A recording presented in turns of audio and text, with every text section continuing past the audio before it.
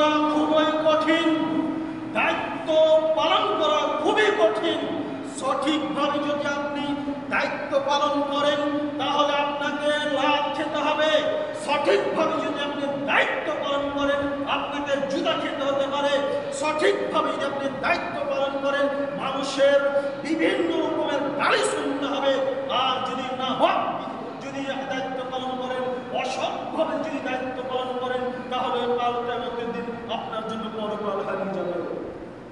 এই জন্য এমন এক জায়গায় বলা হয়েছে, রসুল সাল্লাল্লাহু আলাইহি সাল্লাম বলেছেন, কোন মানুষকে যদি দুইজনের দায়িত্বশীল করে দেওয়া হয় কোন মানুষকে যদি দুইজনের দায়িত্বশীল করে দেওয়া হয় তাহলে তাকে যেন ছবিহীন অবস্থায় জমে করে দেওয়া হবে অতএব এরপরে আরও বলা হয়েছে সহি বুখারী হাদিস নম্বর সাত হাজার একশো মধ্যে বলা হয়েছে আব্দুল্লাহ বিন থেকে বর্ণিত তিনি বলেন, রাসূল সাল্লাল্লাহু আলাইহি ওয়াসাল্লাম বলেছেন, আলা কুল্লুকুম রাই ওয়া কুল্লুকুম মাসউলুন আন রায়াতিহি প্রত্যেকটাই হচ্ছে দায়িত্বশীল প্রত্যেকটাই হচ্ছে দায়িত্বশীল, আর প্রত্যেক দায়িত্বশীলকে তার দায়িত্ব সম্পর্কে কিয়ামতের দিন জিজ্ঞেস করা হবে।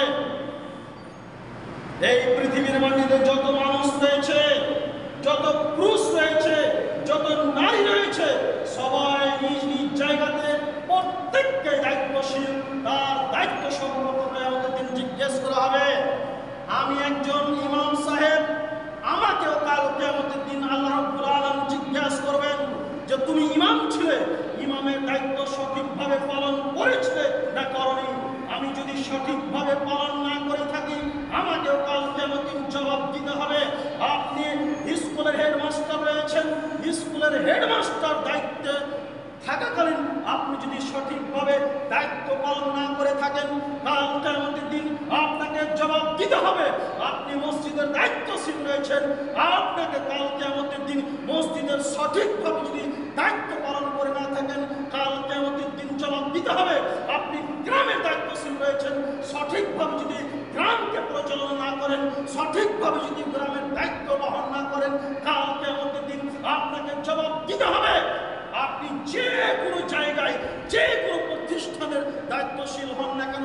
আপনি বাড়ির অভিভাবক রয়েছেন আপনি বাড়ির গার্জেন রয়েছেন আপনার পরিবার সম্পর্কে আল্লাহ রব্বুল আলামিন আপনাকে জিজ্ঞেস করবেন যে তোমার ছেলে সঠিকভাবে নামাজ পড়েছে কি পড়েনি তোমার স্ত্রী তোমার বউ পর্দা করেছে না করেনি তোমার ছেলে যে টাকা উপার্জন করে নিয়ে এসেছে সেই টাকা হালাল নাকি হারাম এই সমস্ত ব্যাপারে প্রত্যেক বাবাকে জিজ্ঞেস করা হবে প্রত্যেক গার্জেনকে কাউকে আমাদের দিন জবাব দিতে হবে আপনার ছেলে মেয়েকে যদি আপনি কোরআন হাদিস অনুপাতে যদি জীবন যাপন না করান আপনার ছেলেকে যদি নামাজের আদেশ না করেন, আপনার মেয়েকে যদি নামাজের আদেশ না করেন, আপনার স্ত্রীকে যদি নামাজের আদেশ না করেন, আপনার বউকে, আপনার মেয়েকে, আপনার স্ত্রীকে পর্দার যদি আদেশ না করেন কালকে আপনি ফেসে যাবেন, আপনাকে জবাব দিতে হবে, আপনি স্বার্থপর বাবা, আপনি স্বার্থপর বাবা, আপনি যদি স্বার্থপর বাবা না হতেন, তাহলে আজ এই দুনিয়াবি ক্ষেত্রে যদি আপনার ছেলে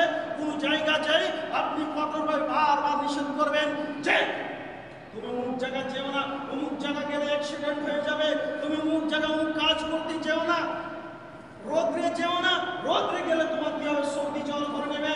নদীতে গিয়ে তুমি স্নান করো না, গোসল করো না। এখন রোদ্রের তাপমাত্রা সর্দি জল ধরে নেবে। আপনি যেমন এই পৃথিবীর মাটিতে এই সামান্য জিনিস থেকে নিজের ছেলেকে সতর্ক সাবধান করছেন, কাল কেয়ামতের দিন একবার ভেবেছেন যে আমার ছেলে, আমার মেয়ে, আমার বউ, আমার স্ত্রী, এরা সবাই যে জাহান নামে চলে যাবে তো জাহান নামের ভয়াবহ আজাব থেকে আমার ছেলেকে আমার স্ত্রীকে আমার বউকে আমার বেটাকে আমি একটু সতর্ক সাবধান করি আমি তাদেরকে সঠিক পথে নিয়ে আসি একদিন বলেছেন নিজের ছেলেকে বাবু চলো পাঁচ অক্ট নামাজ পড়তে হবে মেয়েকে বলেছেন, আম্মু, আজকে থেকে নামাজ পড়ো, নিজের স্ত্রীকে বলেছেন, আজ থেকে নামাজ পড়ো। বলেননি। ফেসে যাবেন কালকে আমাদের দিন। আপনি মনে ভাবছেন, আমি শুধু পাঁচ অক্ট আদায় করব এবাদত করব, আর সেই দিন পার হয়ে যাব? কখনো নয়। আপনি বাড়ির অভিভাবক, আপনি বাড়ির দায়িত্বশীল, আপনি বাড়ির গার্জেন আপনাকে এই সমস্ত দায়িত্ব সম্পর্কে কাল কেমতের দিন আল্লাহ জিজ্ঞেস করবেন সেই দিন যদি আপনি সঠিকভাবে দায়িত্ব পালন করে থাকেন, আপনার পরিবারকে যদি আপনি কোরআন এবং হাদিস অনুপাতে যদি নিয়ে চলার চেষ্টা করে থাকেন, তাদেরকে যদি কোরআন এবং হাদিস অনুপাতে যদি জীবনযাপন করিয়ে থাকেন, তাহলে সেই দিন আপনি বেঁচে যাবেন। আর যদি এইভাবে দায়িত্ব পালন না করে থাকেন, আপনাকে সেই দিন জবাব দিতে হবে। পরিণাম আপনাকে জাহান যেতে হবে। অত সহজ নয় অত সহজ নয় জান্নাত যাওয়া অতএব প্রত্যেক গার্জেনের কাছে অনুরোধ থাকবে আজকের পর থেকে নিজের ছেলেকে পিটিয়ে পাঁচ অক্ট সলাত আদায় করার চেষ্টা করুন। নিজের মেয়েকে পাঁচ অক্ট সলাত আদায় করার চেষ্টা করুন। নিজের স্ত্রী সলাত আদায় করে না, নিজের স্ত্রীকে সলাত আদায় করার চেষ্টা করুন। শুধু আপনি একা সলাত আদায় করে জান্নাত চলে যাবেন, কখনোই নয়। আল্লাহ তাআলা অন্য এক জায়গায় বলেছেন কুরবান ফুসাকুল্লাহ নারা তুমি নিজে বাঁচো এবং তোমার পরিবারকে জাহান্নামের আযাব থেকে বাঁচাও শুধু একা বাঁচলে হবে না আল্লাহ তাআলা বলছেন যে তুমি নিজে বাঁচো এবং তোমার পরিবারকে বাঁচাও তবে তুমি সেই ভয়াবহ জাহান্নামের আজাব থেকে বাঁচতে পারবে? বেটা কত টাকা ইনকাম করে নিয়ে আসলো? টাকা নেওয়ার বেলায় ঠিক আছে বেটা অন্যায় করছে, অত্যাচার করছে।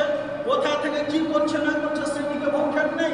বেটা রাত দিন তাস খেলছে জুয়া খেলছে বাটপারি করছে চমারি চুরি চামারি করছে ডাকাতি গুন্ডা বদমাসি করছে এইদিকে বাবার পুরো ভক্ষেপ নেই আর যদি ছেলে একবার বাইরে গেছে কাজ করে যদি বাই চান্স বাবাকে যদি পাঁচ হাজার টাকা না দিয়েছে ওর মাথা ভারী টাকা কোথায় কি করলি সেই দিকে খোঁজ নেবে। কিন্তু তোমার ছেলে যে কোনোদিন নামাজ পড়ে না, মসজিদে যায় না, এ ব্যাপারে খোঁজ নিয়েছো কোনোদিন তুমি? কেমন বাবা তুমি? তুমি স্বার্থপর বাবা।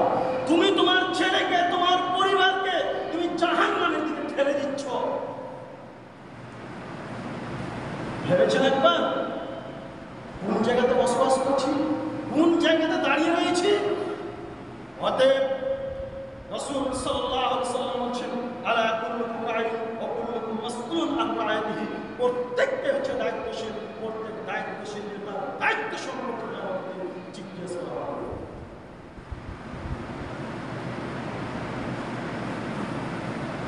শুধু মনে ভাববেন না, যারা গ্রামের মর্মাধ্যক্ষ রয়েছে, যারা গ্রামের দায়িত্ব রয়েছে, মেম্বার, প্রধান রয়েছে, যারা সেক্রেটারি রয়েছে, সম্পাদক রয়েছে কেসিয়ার রয়েছে ইমাম সাহেব রয়েছে শুধু এর আগেই জবাব দিতে হবে সেটা কথা নয় প্রত্যেককেই জবাব দিতে হবে প্রত্যেককেই দায়িত্বশীল প্রত্যেক দায়িত্বশীলকে জবাব দিতে হবে